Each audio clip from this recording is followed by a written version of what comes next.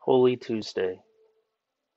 Today, Jesus challenges the teachings of the religious elites on various issues, praises the offering of a widow, and opens his teachings to God fearing Greeks. And many believer, believe that this is the evening that Jesus delivered the Olivet Discourse, his last major sermon which can be found in Matthew 24 through 25, Mark 13, and Luke 21 5 through 36.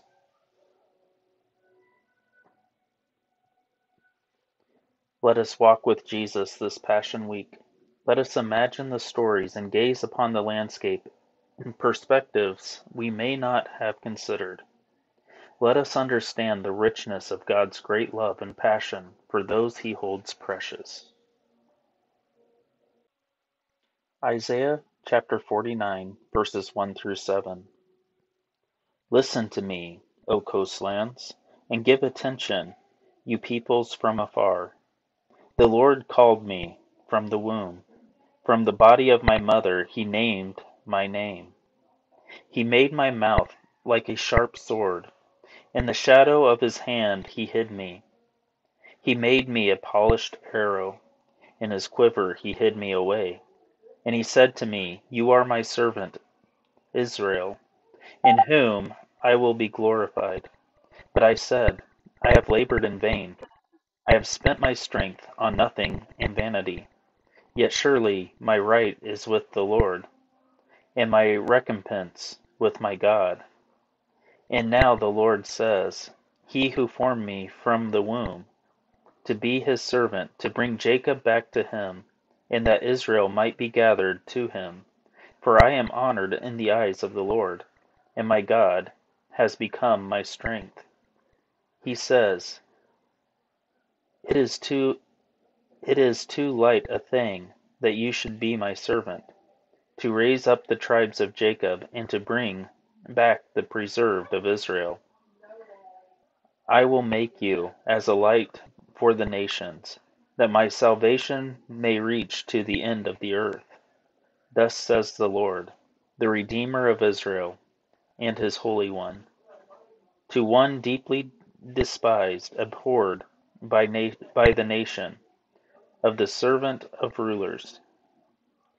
Kings shall see and arise, princes, and they shall prostrate themselves, because the Lord who is faithful the one Holy One of Israel, who has chosen you.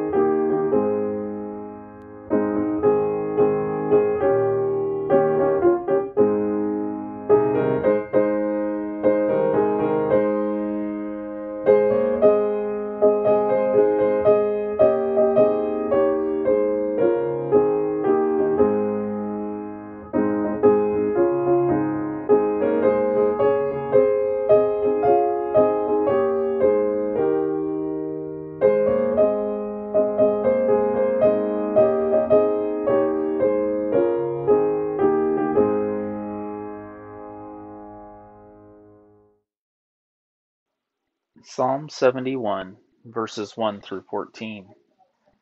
In you, O Lord, do I take refuge. Let me never be put to shame. In your righteousness, deliver me and rescue me. Incline your ear to me and save me. Be to me a rock of refuge, to which I may continually come. You have given the commandment to save me. For you are my rock and my fortress. Rescue me, O my God, from the hand of the wicked, from the grasp of the unjust and cruel man. For you, O Lord, are my hope, my trust. O Lord, from your from my my youth, upon you I have leaned from before my birth. You are he who took me from my mother's womb. My praise is continually of you.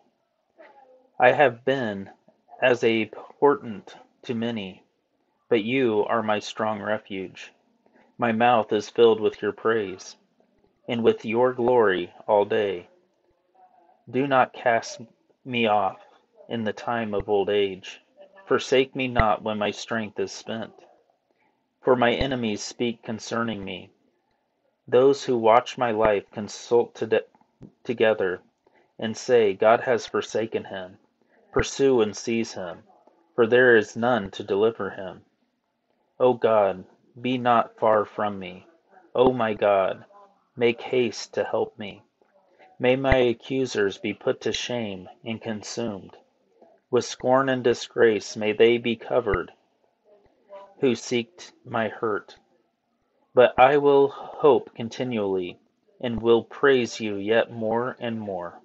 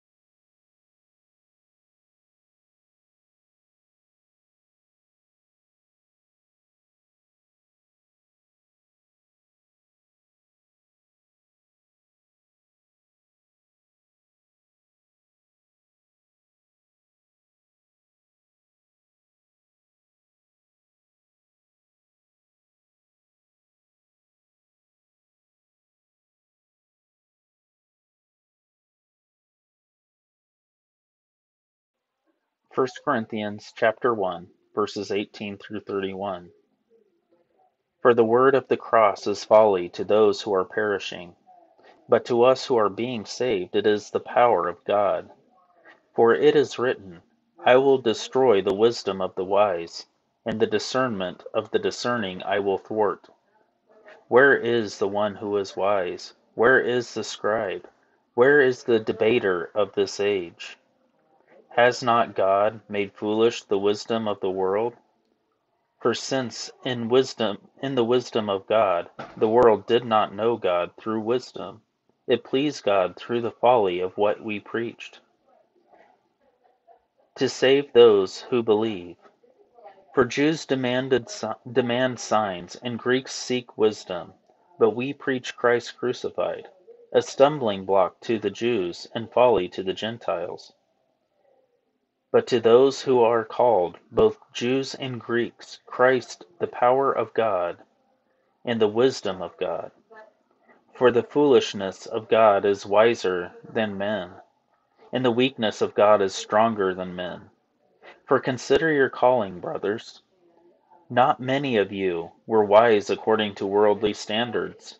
Not many were powerful. Not many were of noble birth. But God chose what is foolish in the world to shame the wise. God chose what is weak in the world to shame the strong. God chose what is low and despised in the world, even things that are not, to bring to nothing things that are, so that no human being might boast in the presence of God.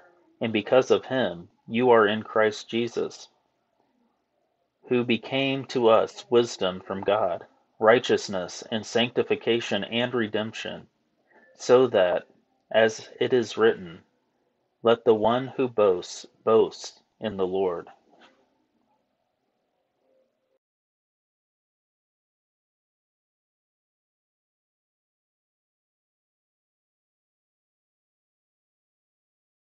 Query. God chose the foolish according to the worldly standards to do great things. When we sense the call of Christ, do we rely on the wisdom of the world to proceed? How can we embrace God more fully and trust Him at His word?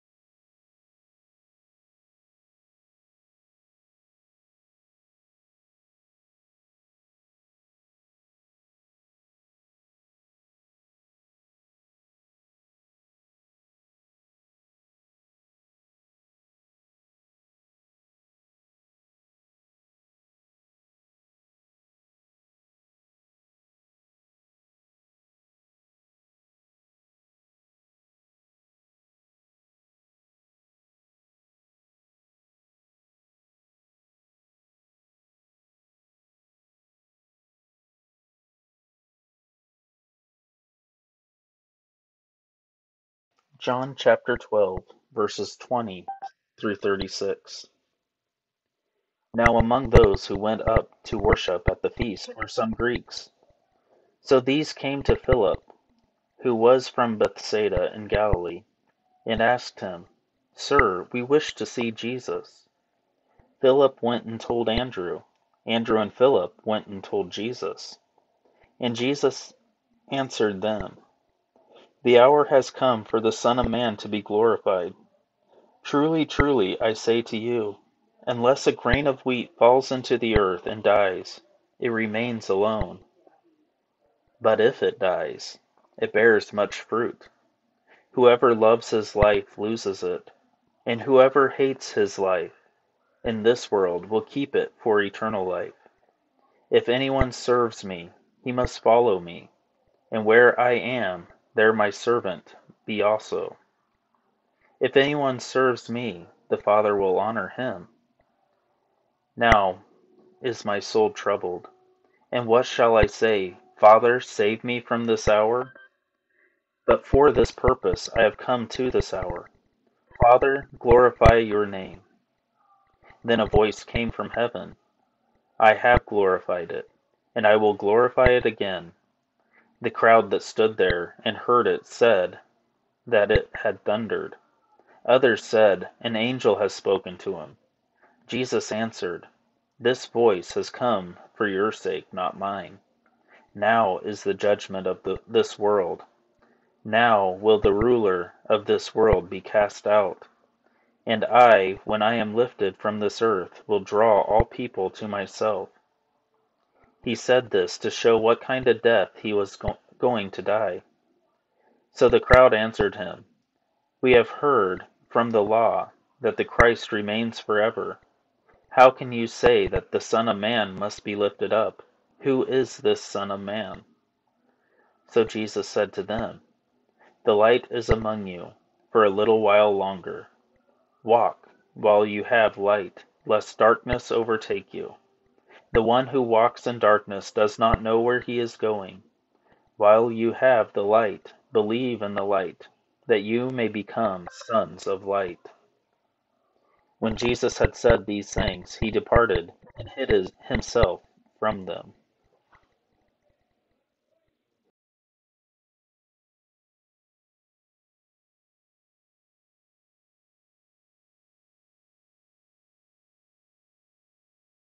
Query.